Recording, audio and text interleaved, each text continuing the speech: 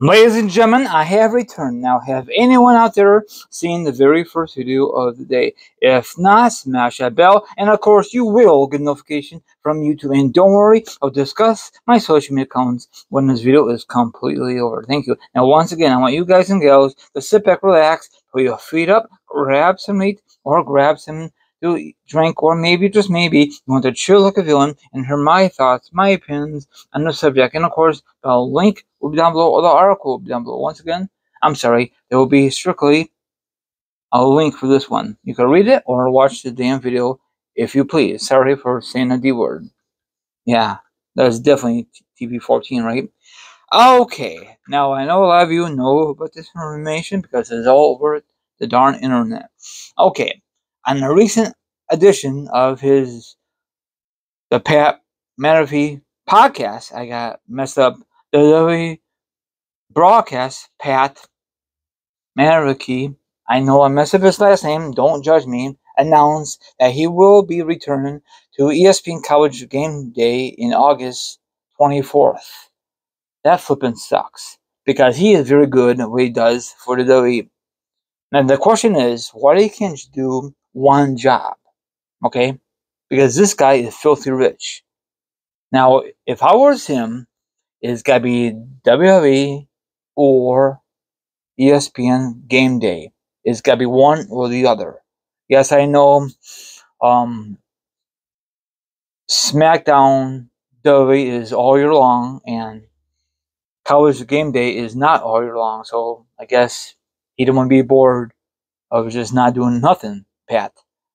This guy is awesome on the mic for WWE. So who's going to replace him once he's going to take a long hiatus? You know?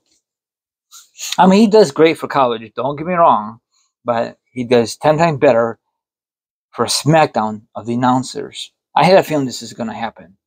I guess that's part of his contract. You know, once College Game Day is back, he's going to do it too. I mean, he he does good. Don't get me wrong, but I prefer him doing the, the SmackDown.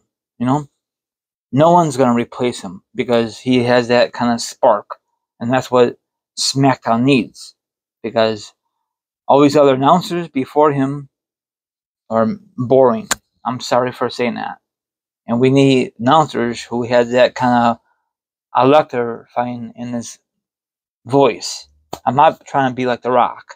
You know what I'm saying? So all information down below. Maybe a lot of you don't give a darn because this is about him leaving WWE and go back to college game day.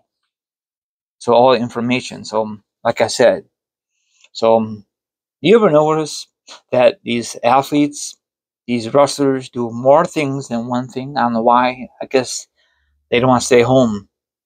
They make so much money. You know, Pat makes probably so much money from WWE and ESPN. So I guess when whenever he retires, he retires from the broadcast.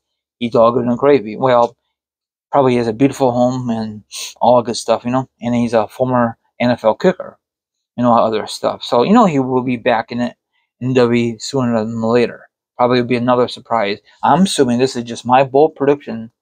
After his W run is over with, you know, August 24th, he will return sometime at the Rumble or WrestleMania. Just keep it a surprise.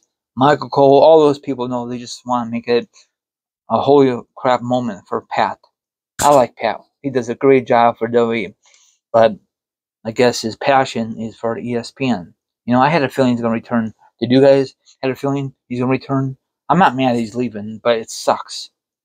Now follow me Instagram, Twitch, Twitter, TikTok. All my social media accounts will be down below. Now if you want to be a part of my show, The Robert Show, that's fine. If not, don't worry about it. Enjoy the rest of your Thursday, and I'll be back tomorrow.